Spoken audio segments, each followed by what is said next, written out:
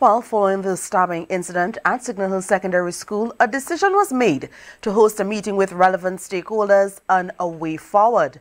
The school issued an important notice calling all parents, past and present teachers, and alumni members to a special meeting.